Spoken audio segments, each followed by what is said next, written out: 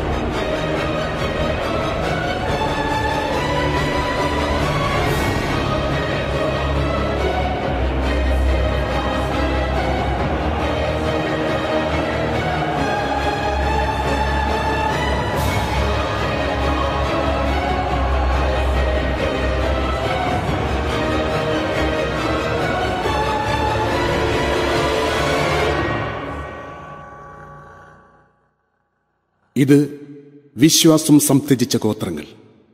ഇസ്രായേലിന്റെ ശാശ്വത നിയമമായ ഏകദൈവ വിശ്വാസം ലംഘിച്ച ബാൽദേവന്റെ വിഗ്രഹത്തെ ആരാധിച്ച് അന്ധകാര ശക്തികളെ പ്രീതിപ്പെടുത്തുന്ന ജനത. എന്നാൽ യൂതയായിൽ നിന്നും നിലവേക്ക് നാടകടത്തപ്പെട്ടവരോടൊപ്പം നഫ്താലി ഗോത്രത്തിൽപ്പെട്ട യഹൂദനായിരുന്നു തോബിത്ത്. മോശയുടെ നിയമപ്രകാരം ഏകദൈവ വിശ്വാസത്തിൽ ജീവിച്ചു പോന്ന ഏക വ്യക്തി.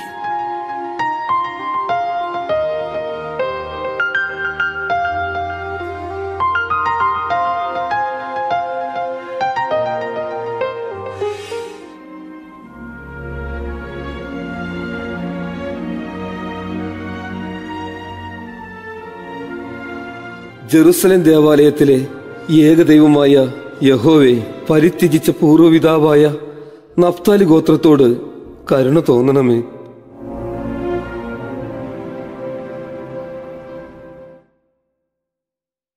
ദേവാലയത്തിൽ ബലിയർപ്പണത്തിനുള്ളതെല്ലാം തയ്യാറാക്കിയിട്ടുണ്ട്. തോബിയാസ് എവിടെ? ഞാൻ ഇവിടെ തന്നെ ഉണ്ടപ്പ ഞാനും അപ്പനോടൊപ്പം ദേവാലയത്തിലേക്ക് വരട്ടെ. അത്യുന്നതന്റെ വാസസ്ഥലം സന്ദർശിക്കാൻ മകൻ എത്രയും വേഗം ഇടവരട്ടെ. അന്ന ഞാൻ യാത്രയാകുകയാണ്. മകനെ ശരിക്ക് ശ്രദ്ധിച്ചോളൂ. തോബിത് ബലിയർപ്പണത്തിനായി യാത്ര തിരിക്കുന്നു. തന്റെ കുടുംബക്കാരും ബന്ധുമിത്രാദികളും ബാൽദേവനെ ആരാധിച്ച് ഇസ്രായേലിന്റെ നിയമങ്ങളെയും യഹോവയെയും ഉപേക്ഷിച്ചു. എന്നാൽ തോബിത്ത് ദൈവത്തിന് പ്രീതികരമാം വിധം ജീവിക്കുകയും ഇസ്രയേലിന്റെ നിയമമനുസരിച്ച് യഹോവയ്ക്ക് ബലിയർപ്പണം നടത്തുകയും ചെയ്തു.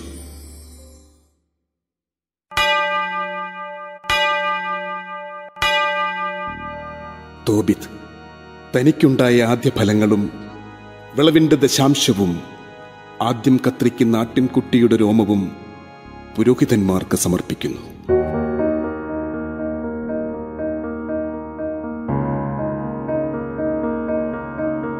ഉൽപ്പന്നങ്ങളുടെ ദശാംശം. ജെറുസലേമിൽ ശുശ്രൂഷ ചെയ്യുന്ന ലേവിപുത്രന്മാർക്ക് കാഴ്ചവെക്കുന്നു.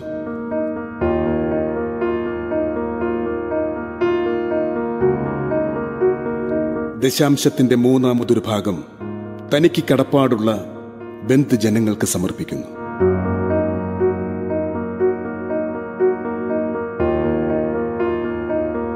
തോബിത്ത് ദൈവത്തോട് വിശ്വസ്തത കാണിച്ചു. ദൈവേഷ്ടമനുസരിച്ച് ജീവിച്ചു. ദൈവത്തോടുള്ള തോബിത്തിന്റെ വിധേയത്വം അവൻ അനുഗ്രഹമായി മാറി. അവൻ ഷൽമനേസർ രാജാവിന്റെ പ്രീതിക്ക് പാത്രമായി രാജ്യത്തിന്റെ കലവറ സൂക്ഷിപ്പുകാരനായി നിയമിച്ചു. തോബി ഭക്ഷണ സാധനങ്ങൾ വാങ്ങുവാനായി മേദിയ നാട്ടിലേക്ക് പോവുക പതിവായിരുന്നു. അവിടെ വെച്ച് ചാർച്ചക്കാരനായ ഗബായേലിനെ സന്ദർശിക്കുകയും പത്ത് താലന്ത് വെള്ളിക്കാശ് സൂക്ഷിക്കാൻ ഏൽപ്പിക്കുകയും ചെയ്തു. അങ്ങനിരിക്കെ ഷൽമനേസർ രാജാവ് മരിച്ചു. തുടർന്ന് മകനായ സെന്നാഗരീബ് ഭരണമേറ്റു. ഈ കാലഘട്ടത്തിൽ ധാരാളം യഹൂദർ നിലവെ പട്ടണത്തിൽ ഒളിച്ചു പാർത്തിരുന്നു. അവരോട് രാജാവ് ക്രൂരമായി പെരുമാറി. പക്ഷെ തോപിത്താവട്ടെ അവരോട് കരുണ കാണിച്ചിരുന്നു.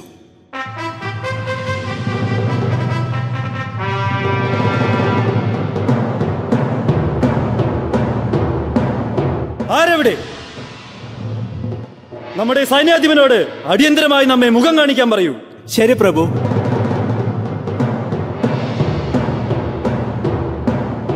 രാജാവ് നീണാൾ വാഴട്ടെ.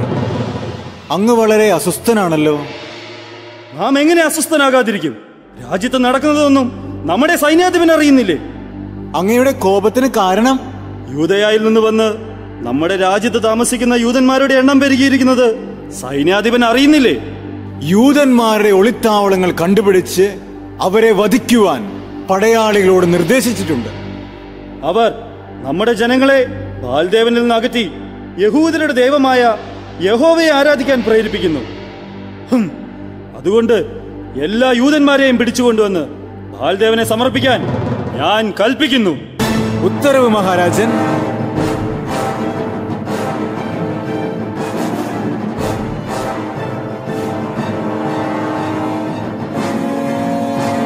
നിലവയിൽ ഒളിച്ചു താമസിക്കുന്ന യഹൂദന്മാർക്കുള്ള തിരച്ചിൽ ഊർജിതമാക്കുന്നു.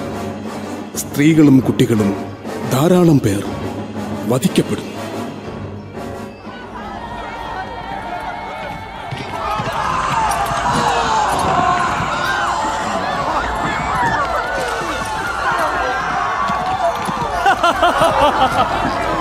അവരെ ശിരച്ഛേദനം ചെയ്യുവിൻ ഇവരുടെ രക്തത്താൽ ബാൽദേവൻ പ്രീതിപ്പെടട്ടെ. എന്നിട്ട് ഇവരുടെ ശരീരഭാഗങ്ങൾ നഗര കവാടത്തിലേക്ക് എറിയപ്പെടട്ടെ. തന്റെ ജനത്തിന്റെ ദുരിതങ്ങളിൽ തോപിത്തു വേദനിച്ചു. അവരെ സഹായിക്കുന്നു. വധിക്കപ്പെട്ടവരുടെ മൃതദേഹങ്ങൾ തോപിത്ത് രഹസ്യമായി സംസ്കരിക്കുന്നു.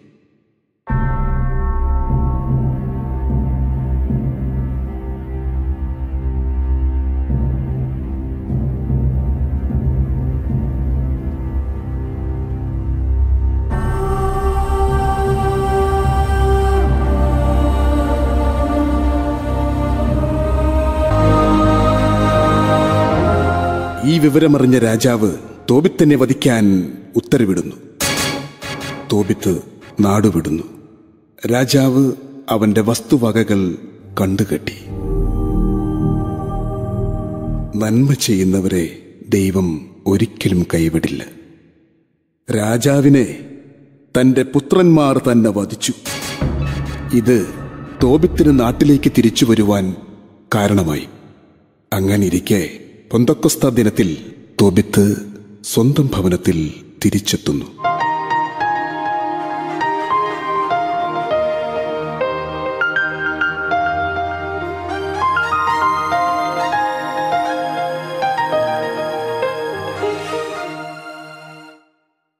എന്താ? എനിക്ക് വേണ്ടി ഇത്രയും വിഭവങ്ങൾ ഒരുക്കിയോ? ഇന്ന് പെന്തക്കുസ്ത തിരുനാളല്ലേ. അങ്ങ് മടങ്ങി വന്ന സന്തോഷത്തിൽ വെച്ചുപോയതാ. മോനെ തോബിയാസ് നീ പോയി നമ്മുടെ സഹോദരരിൽ ദൈവവിചാരമുള്ള ഒരു ദരിദ്രനെ കൊണ്ടുവരൂ. അവനും നമ്മോടുകൂടെ ഈ വിരുന്നിൽ പങ്കെടുക്കട്ടെ.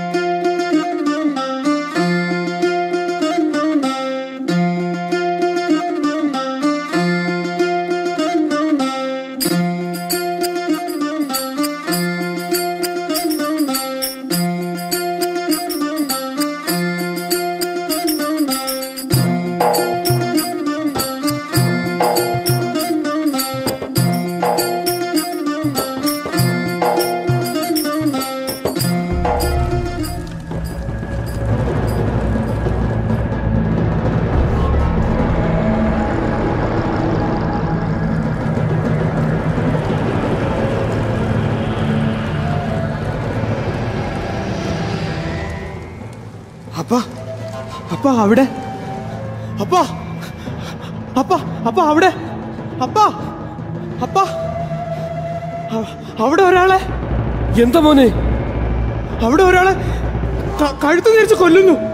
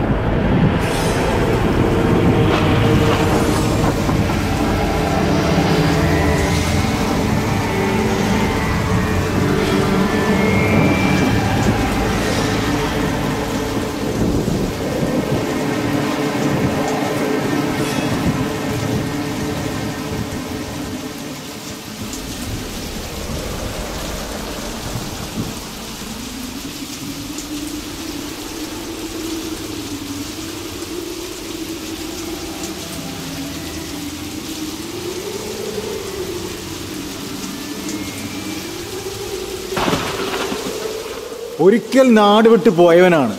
കണ്ടില്ലേ? തിരിച്ചു വന്ന് വീണ്ടും അതേ പണി തന്നെ ചെയ്യും. ശവശരീരം സംസ്കരിച്ചു കഴിഞ്ഞ് രാത്രി തന്നെ അവൻ വീട്ടിലേക്ക് മടങ്ങി. അശുദ്ധനായിരുന്നതുകൊണ്ട് അവൻ വീടിന്റെ മതിലിനോട് ചേർന്നുള്ള മരത്തിന് കീഴിൽ കിടന്നുറങ്ങി.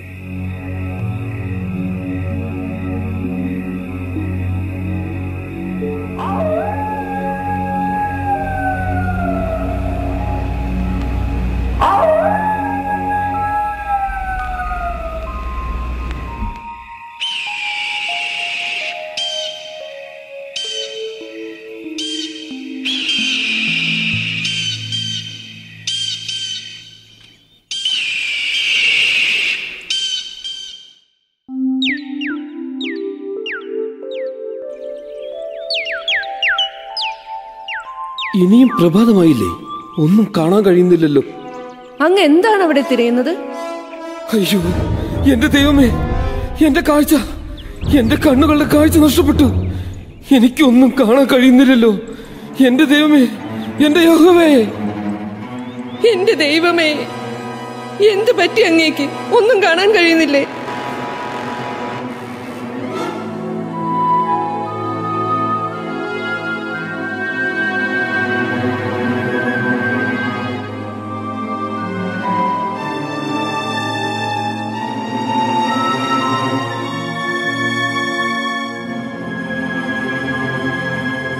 നന്മകൾ ചെയ്തിട്ടും ജീവിതത്തിൽ ദുരന്തങ്ങൾ ഏറ്റുവാങ്ങേണ്ടി വന്ന തോപിത്ത് ജീവിതത്തിൽ ദുഃഖങ്ങൾ ഉണ്ടാകുന്നതിന്റെ കാരണം എന്താണ്?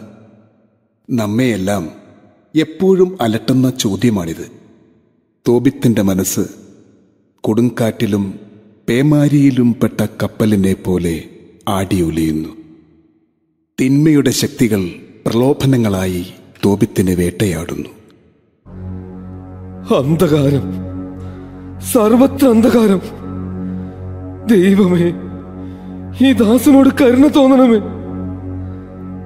അങ്ങനെ അന്ധകാരത്തിലേക്ക് തള്ളിയിടല്ലേ? ദൈവഭയത്തോടു കൂടി മാത്രമേ ഞാൻ ജീവിച്ചിട്ടുള്ളൂ. കരുണയോടു കൂടി മാത്രമേ ഞാൻ സഹജീവികളോട് പെരുമാറിയിട്ടുള്ളൂ.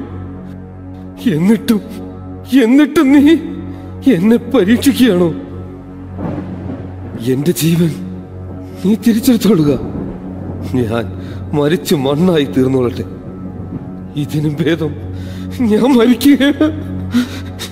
മരിക്കുക എന്റെ ദൈവമേ.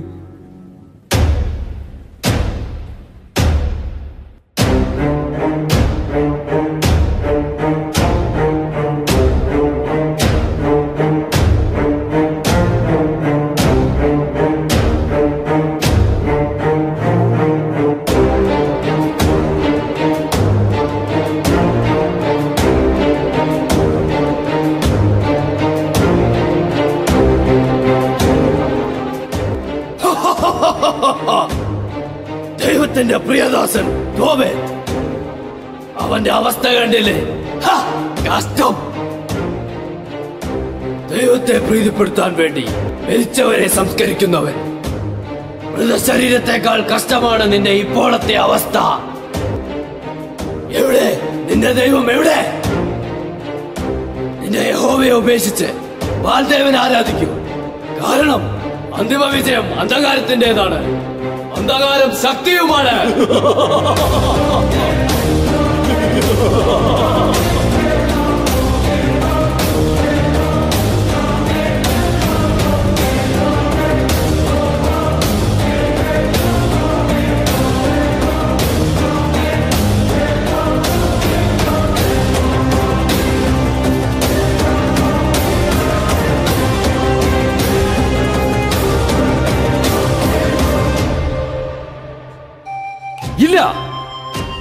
ദൈവം എന്നെ കൈവിടില്ല.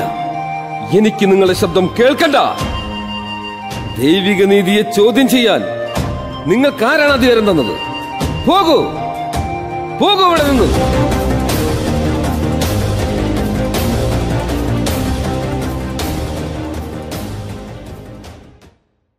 തന്റെ അയൽക്കാരുടെയും ബന്ധുക്കളുടെയും മുന്നിൽ തോപിത്ത് പരിഹാസപാത്രമാവുന്നു. അവർ ഏലിമാസിലേക്ക് സ്ഥലം മാറി ജീവിതത്തിന്റെ കനലെരിയുന്ന വഴികളിലൂടെ നടക്കുമ്പോഴും തോബിത്ത് ദൈവത്തെ കുറ്റപ്പെടുത്തിയില്ല.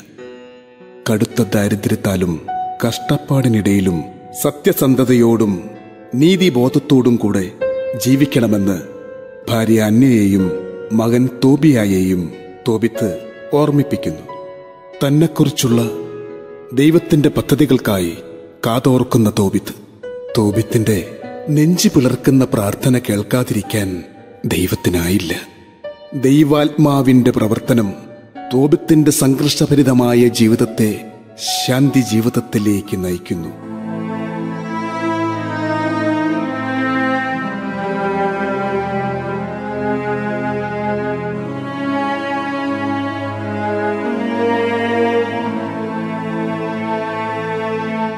എന്താ അപ്പൊ വിഷമിച്ചിരിക്കുന്നേ?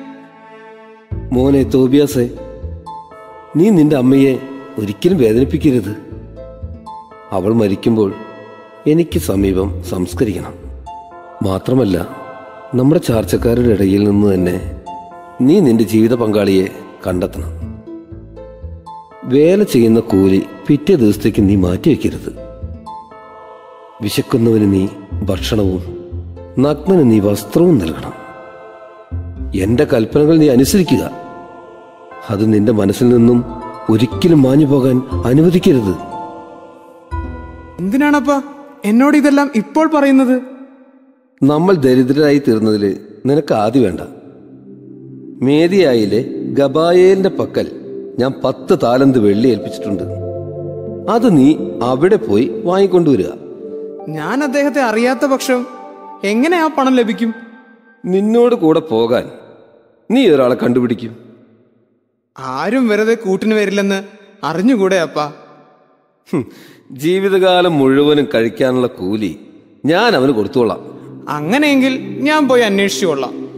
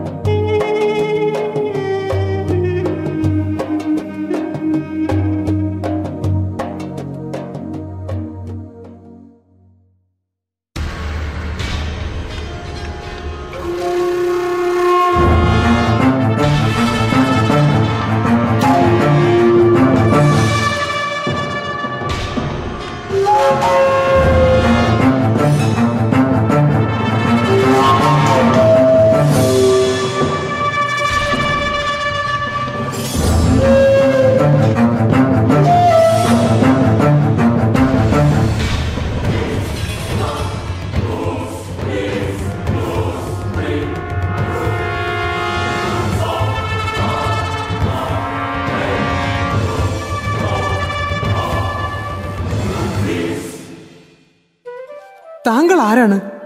ഞാനൊരു വഴിയാത്രക്കാരൻ. താങ്കൾ തക്ക സമയത്ത് വന്നതുകൊണ്ട് ഞാൻ രക്ഷപ്പെട്ടു. ശരി. താങ്കൾക്ക് കുഴപ്പമൊന്നുമില്ലെങ്കിൽ ഞാൻ പോകുന്നു. നിൽക്കൂ. എനിക്ക് മേധിയായിലേക്ക് പോകാൻ ഒരു കൂട്ടു വേണം. താങ്കൾക്ക് എന്നോടൊപ്പം വരാമോ? വരാം. എനിക്ക് മേധിയ നല്ല പരിചയമുണ്ട് എന്നാൽ ഞാൻ എന്റെ പിതാവിനോട് ഈ വിവരം പറയട്ടെ?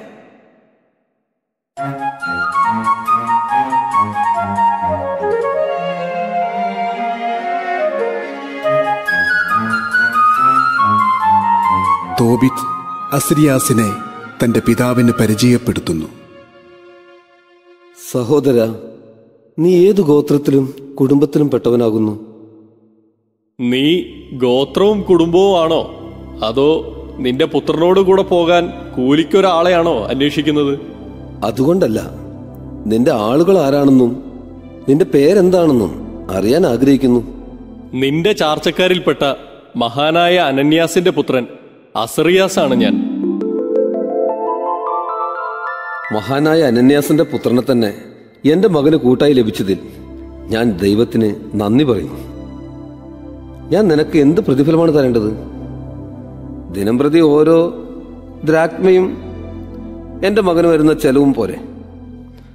കൂടാതെ നീ തിരിച്ചു വരുമ്പോൾ സുഖമായി എത്തിയാൽ കൂടുതൽ തുകയും ഞാൻ തരാം. ശരി താങ്കളുടെ ആഗ്രഹം പോലെ നടക്കട്ടെ. തോബിയാസേ ഉന്നതത്തിൽ വസിക്കുന്ന ദൈവം നിന്റെ മാർഗം ശുഭമാക്കും. അവിടുത്തെ ദൂതൻ നിന്നെ കാത്തുകൊള്ളും. നീ ഇവനോടൊപ്പം പോയിക്കൊള്ളുക. അങ്ങനെ തോബിയാസും അസ്രിയാസും യാത്ര പുറപ്പെട്ടു.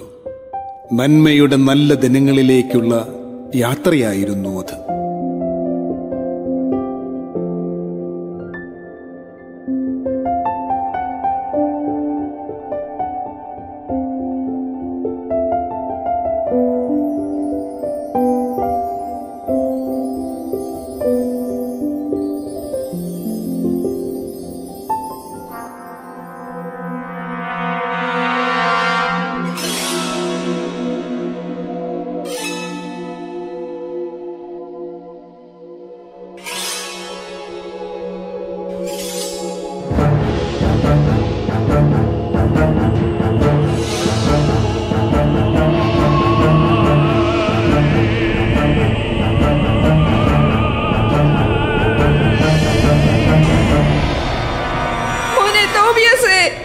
എന്തു പറ്റി എന്നെ അവന് അപകടം പറ്റിയതായി ഞാൻ സ്വപ്നം കണ്ടു. അവൻ എന്തെങ്കിലും പറ്റിയിരിക്കുമോ? നീ ഒന്നും കൊണ്ടും പേടിക്കണ്ട. അവൻ ഒന്നും സംഭവിക്കില്ല. നമ്മുടെ കുഞ്ഞിനെ എന്തിനാണ് ഇത്ര ദൂരത്തേക്ക് അയച്ചത്? അവൻ നമ്മുടെ തുണയായിരുന്നില്ലേ? പണമല്ലല്ലോ പ്രധാനം. അത് നമ്മുടെ മകനേക്കാൾ വിലപ്പെട്ടതുമല്ല. കർത്താവ് തന്ന ജീവിത സൗകര്യങ്ങൾ കൊണ്ട് തൃപ്തിപ്പെട്ടുകൂടെ? ദിവസങ്ങളേറെയായി.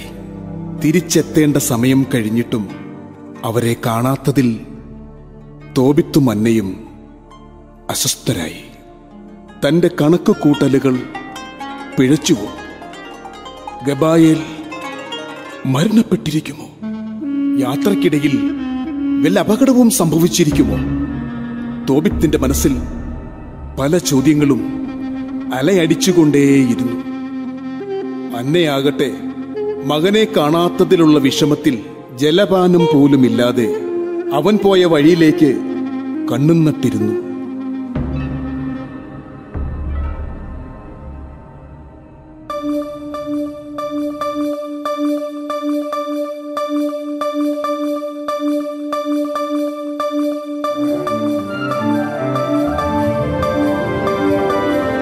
നമ്മുടെ കുഞ്ഞ് എത്തിച്ചേർന്നിരിക്കുന്നു. എവിടെ എന്റെ മകൻ?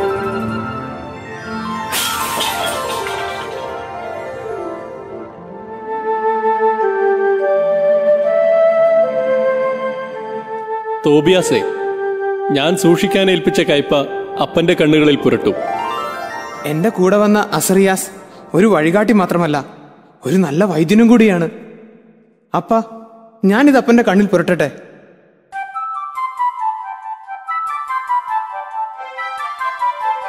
ദൈവമേ എനിക്കിപ്പോ എല്ലാം കാണാം.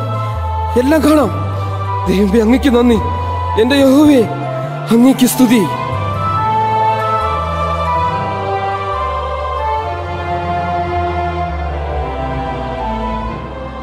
എന്താ ഇത്ര കാലതാമസം എടുത്തത്? ആരാ ഈ പെൺകുട്ടി? അപ്പാ ഞങ്ങൾ അന്ന് യാത്ര പുറപ്പെട്ട് ദൂരങ്ങളേറെ നടന്നു.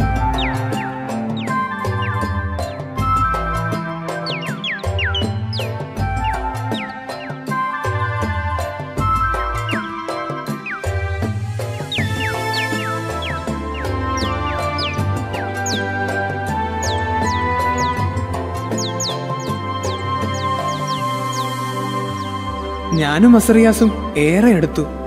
സൂര്യനും താപവും കണ്ണു ചുമ്മിക്കുന്ന പ്രകാശവും മായുന്നതുവരെ മേഘക്കൂട്ടങ്ങൾ എന്ന പോലെ ചില്ലയുള്ള മരങ്ങൾക്ക് കീഴിൽ ഞങ്ങൾ വിശ്രമിക്കുകയും അവയുടെ ഫലങ്ങൾ ഭക്ഷിക്കുകയും തൃപ്തി അടയുകയും ചെയ്തു. സൂര്യൻ ഇരുണ്ടു തുടങ്ങും മുമ്പേ ഞങ്ങൾ വീണ്ടും യാത്ര പുറപ്പെട്ടു.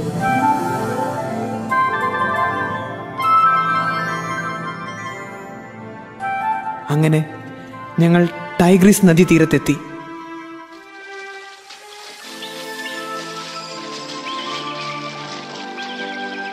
തോബിയാസേ നമുക്ക് ഇന്നിവിടെ തങ്ങാം. ശരി.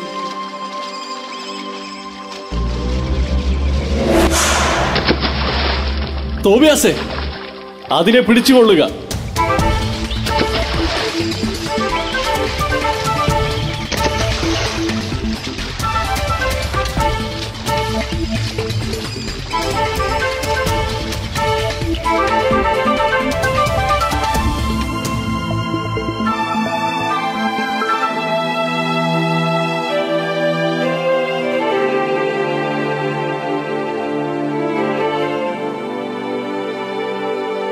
മത്സ്യത്തിന്റെ ചങ്കും കരളും കയ്പയും മാറ്റിവെച്ച് ബാക്കി നമുക്ക് ചുട്ടുഭക്ഷിക്കാം അസറിയാസെ എന്തിനാണ് ഇവ സൂക്ഷിച്ചു വെക്കുന്നത്?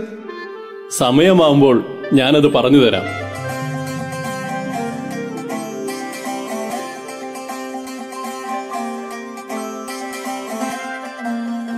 ഞങ്ങൾ അങ്ങനെ അവിടെ നിന്ന് യാത്ര പുറപ്പെട്ട് എഗ്ബത്താനിയിൽ എത്തിച്ചേരാറായി. ഇന്ന് നിന്റെ ബന്ധുവായ റഘുവാലിന്റെ വീട്ടിൽ താമസിക്കാം. ബന്ധുവോ? എനിക്ക് അദ്ദേഹത്തെ അറിഞ്ഞുകൂടാ. അവൻ നിങ്ങളുടെ ബന്ധുവാണ്. അവനൊരു മകളേ ഉള്ളൂ. സാറ അവൾ അതീവ സുന്ദരിയും വിവേകമതിയുമാണ്. ജീവിതത്തെക്കുറിച്ച് ഒരുപാട് സ്വപ്നങ്ങളുള്ള പെൺകുട്ടി. പക്ഷേ അവൾക്ക് വിധിച്ചത് ദുഃഖം മാത്രം.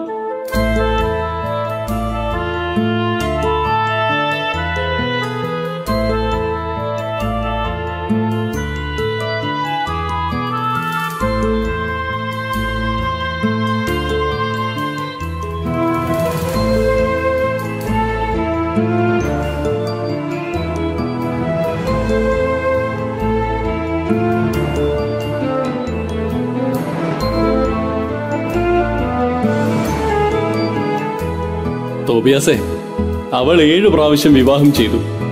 എന്നാൽ അവളെ പ്രാപിക്കുന്നതിന് മുമ്പ് ഓരോ ഭർത്താവും അസ്മോദേവോസ് എന്ന ദുഷ്ടപിശാചിനാൽ മരണമടയുകയും ചെയ്തു.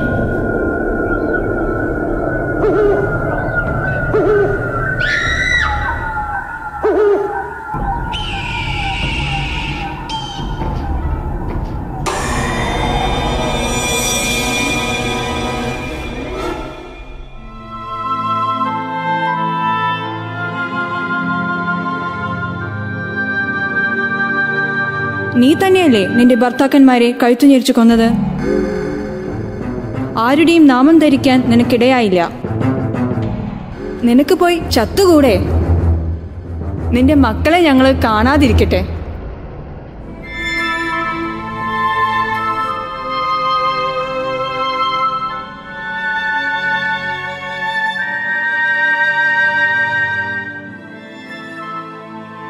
എന്റെ ദൈവമായ കർത്താവെ അങ്ങ് വാഴ്ത്തപ്പെടട്ടെ. പരിശുദ്ധവും സംപൂജയുമായ അങ്ങയുടെ നാമം എന്നെന്നും സ്തുതിക്കപ്പെടട്ടെ. എല്ലാ സൃഷ്ടികളും അവിടുത്തെ എന്നെന്നും വാഴ്ത്തട്ടെ. എന്റെ ദൃഷ്ടികളും മുഖവും അങ്ങയുടെ നേരെ തിരിഞ്ഞിരിക്കുന്നു. എന്നെ ഈ ഭൂമിയിൽ നിന്ന് മോചിപ്പിക്കണമേ. ഞാനിനി അധിക്ഷേപം കേൾക്കാൻ ഇടവരാതിരിക്കട്ടെ. കർത്താവെ ഞാൻ പുരുഷന്മാരുമായി പാപം ചെയ്തിട്ടില്ലെന്ന് അവിടത്തേക്ക് അറിയാമല്ലോ. ഈ പ്രവാസത്തിൽ എന്റെയോ പിതാവിന്റെയോ പേരിന് ഞാൻ കളങ്കം വരുത്തിയിട്ടില്ല. എന്റെ ഏഴ് ഭർത്താക്കന്മാർ മരിച്ചു. ഇനി ഞാൻ എന്തിനു ജീവിക്കണം? ഇനി അധിക്ഷേപങ്ങൾ കേൾക്കാൻ ഇടവരാത്ത വിധം എനിക്ക് മാന്യത നൽകണമേ. ആമീൻ.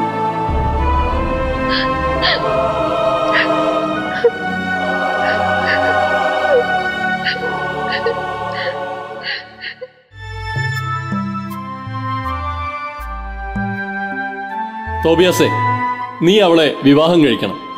ഞാനോ? ഞാൻ എന്റെ അപ്പന്റെ ഏക മകനാണ്. ഞാൻ സാറയെ വിവാഹം കഴിച്ചാൽ എന്റെയും അവസ്ഥ മരണം തന്നെ ആയിരിക്കില്ലേ?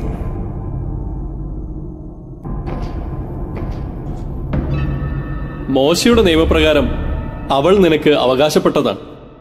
നിനക്ക് മാത്രമേ അവളെ വിവാഹം ചെയ്യാൻ കഴിയൂ. അല്ലെങ്കിൽ മറ്റുള്ളവർക്ക് മരണശിക്ഷ ലഭിക്കും. ഋഗുവേലിനോട് ഞാൻ സംസാരിക്കാം. എനിക്കെന്തെങ്കിലും സംഭവിച്ചാൽ എന്റെ മാതാപിതാക്കളെ സംരക്ഷിക്കാനും മരണമടഞ്ഞ ശേഷം സംസ്കരിക്കാനും ഞാനല്ലാതെ അവർക്ക് മറ്റൊരു സന്താനമില്ല. നീ ഭയപ്പെടേണ്ട. നീ നിന്റെ ചാർച്ചക്കാർക്കിടയിൽ നിന്ന് തന്നെ ഒരു ഇണയെ സ്വീകരിക്കണമെന്ന് നിന്റെ പിതാവ് പറഞ്ഞത് നീ ഓർക്കുന്നില്ലേ? പിന്നെ പിശാചിനെ പറ്റി നീ പേടിക്കേണ്ട. അതെങ്ങനെ? ഞാൻ പറഞ്ഞു തരാം.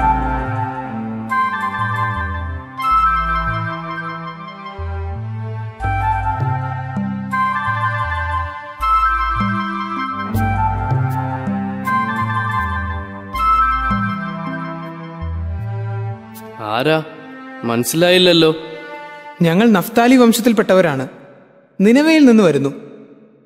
ഓ അത് ശരി. ആ നാട്ടിലെ പ്രശസ്തനായ തോപിത്തിനെ നിങ്ങൾ അറിയുമോ?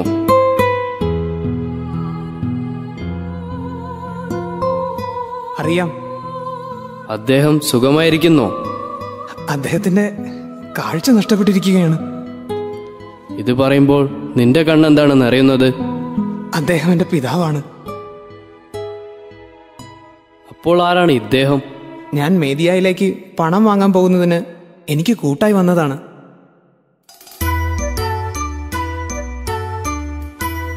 മോളെ സാറേ ഇവർക്ക് കുടിക്കാൻ എന്തെങ്കിലും?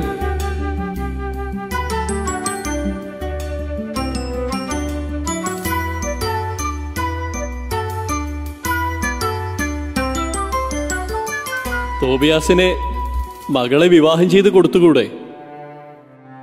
അവളുടെ വിവാഹം ഏഴു പ്രാവശ്യം കഴിഞ്ഞതാണ്. അത് സാരമില്ല. എതിനാ? വിവാഹ ഉടമ്പടി തയ്യാറാക്കൂ.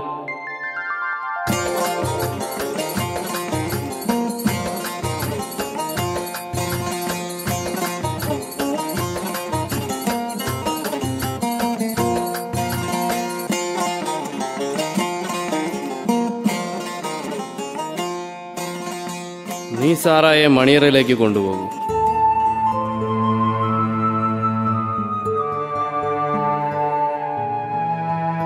തോബിയാസും കൂടി മരിക്കാൻ ഇടയാകരുത്. അമ്മേ എനിക്കിനി വിവാഹമേ വേണ്ട. നീ വിഷമിക്കാതിരിക്കൂ. ദൈവത്തിൽ വിശ്വസിച്ചാൽ മാത്രം മതി. അരുതാത്തതൊന്നും സംഭവിക്കില്ല.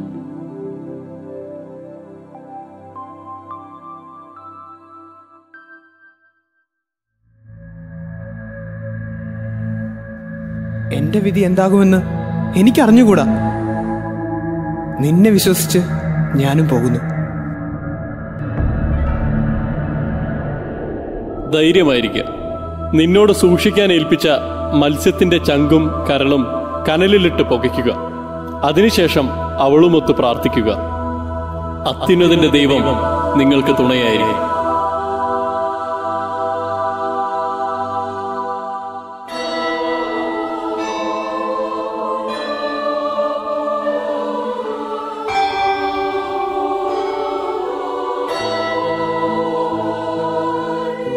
കർത്താവെ ഞാൻ ഇവളെ സ്വീകരിക്കുന്നത് ജഡികമായ അഭിലാഷത്താലല്ല നിഷ്കളങ്കമായ പ്രേമത്താലാണ്. അങ്ങയുടെ കാരുണ്യം എനിക്കുണ്ടാവണമേ. ഇവളോടൊത്ത് വാർദ്ധക്യകാലത്ത് എത്തുന്നതിന് അങ്ങ് അനുഗ്രഹിക്കണമേ. ആമേൻ.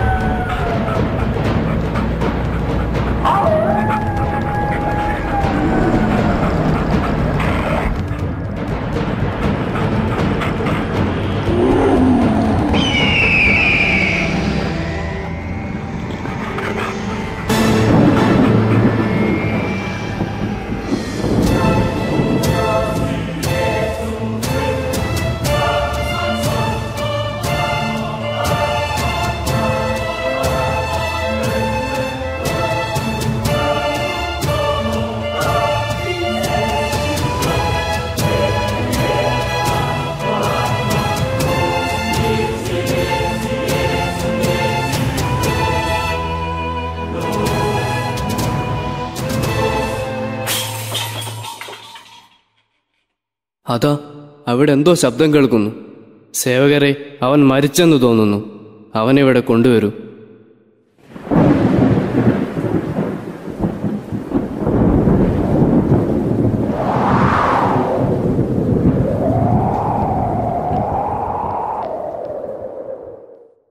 ഹേ അവർക്കൊന്നും സംഭവിച്ചില്ല. അവർ സുഖമായി ഉറങ്ങുന്നു. എന്നാൽ വരൂ. നമുക്കിത് സന്തോഷത്തോടെ ആഘോഷിക്കാം.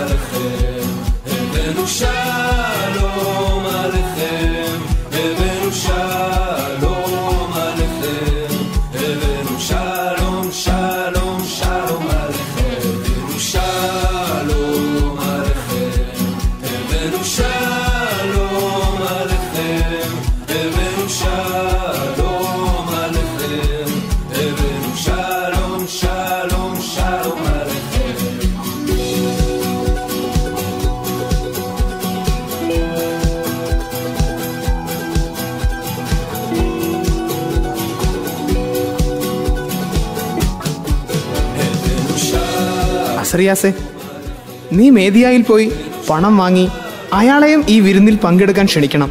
ഇതാ അതിന്റെ ഉടമ്പടി.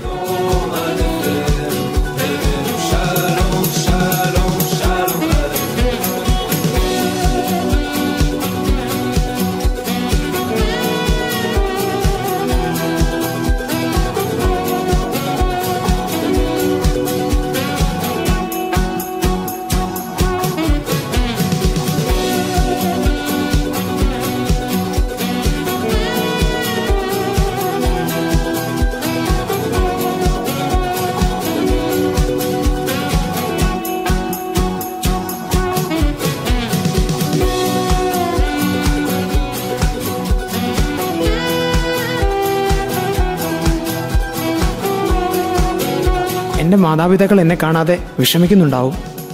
അതിനാൽ എനിക്ക് ഉടൻ തന്നെ വീട്ടിലേക്ക് പോകണം. ശരി നിങ്ങൾ യാത്രയാവൂ. ഞാനും ഇതിനെയും പിന്നീട് വരാം.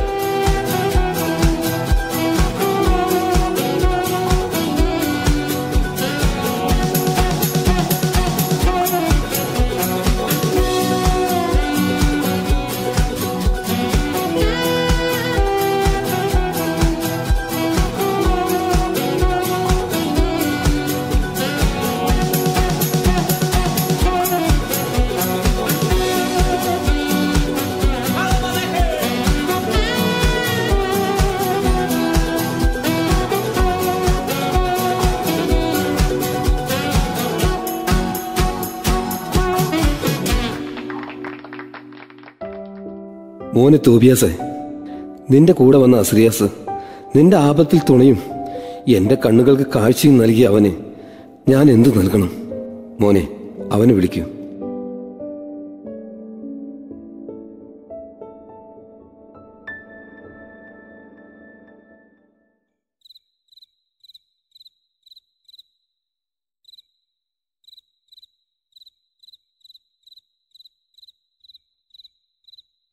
അസറിയാസെ അസറിയാസെ ഇത് അസറിയാസ് അല്ലേ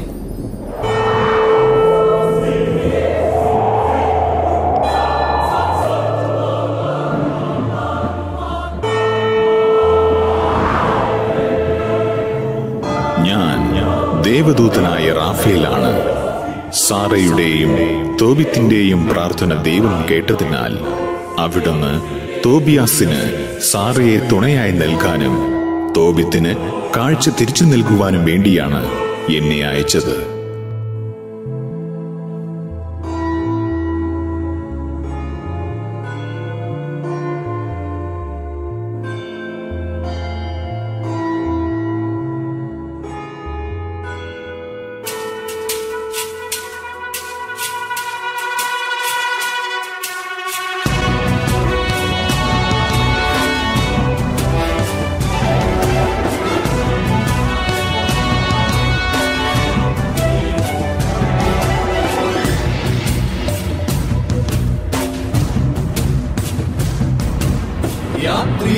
सहयात्रिगा पयेरे हारे यात्रिगा सहयात्रिगा